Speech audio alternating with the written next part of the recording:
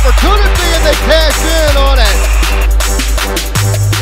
And it's Lovano scoring his second goal of the